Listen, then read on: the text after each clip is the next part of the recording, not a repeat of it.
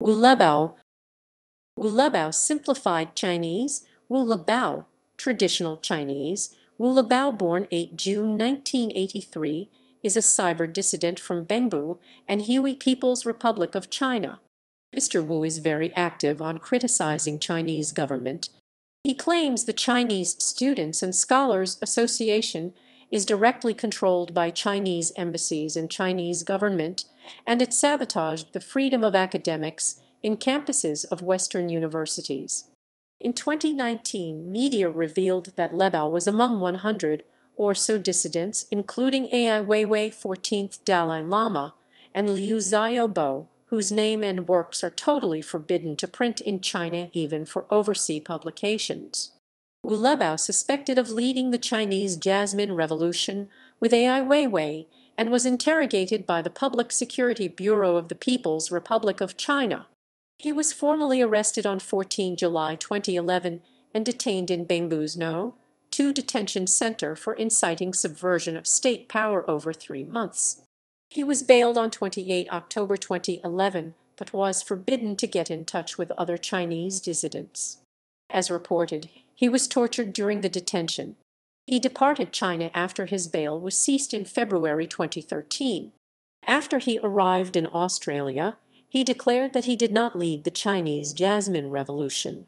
He had then settled in Melbourne, Victoria, Australia. In May 2015, Wu, as a Chinese refugee, participated in a signatory of an open letter with Gui appealing that Chinese government end its secrecy over the Tiananmen Square massacre and hold those responsible to account. Mr. Wu took an interview with The Guardian. In the report, Wu was titled as China's lonely voice of dissent refuses to forget the victims of Tiananmen Square. Wu told his story about his imprisonment in China and his concern about the Chinese influence will impact the freedom of speech in Australia. In 2016, Lebao and his friends published an open letter on Change.org to support Wu Wei, a tutor from University of Sydney, who burned his Chinese passport and then was attacked by Chinese students.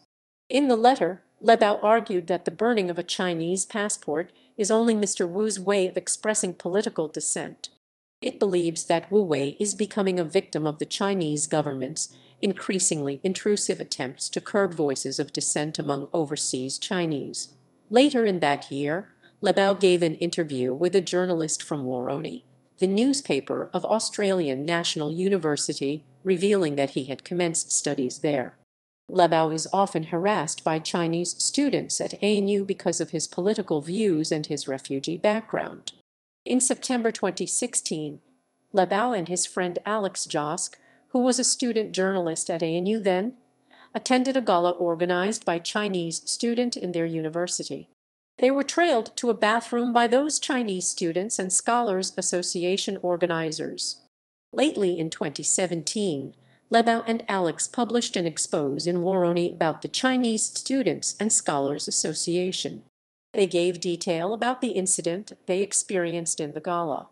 In 2018, Mr. Wu participated in the global campus movement Not My President, which was initiated by a large number of overseas Chinese descent students showing their rejection to Chinese Communist Party General Secretary Xi Jinping.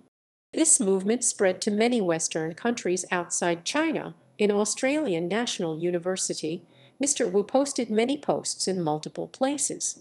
Lebao's name and works were revealed on a blacklist for printing in China, even for foreign publishers in February 2019. The list was obtained by The Age and the Sydney Morning Herald.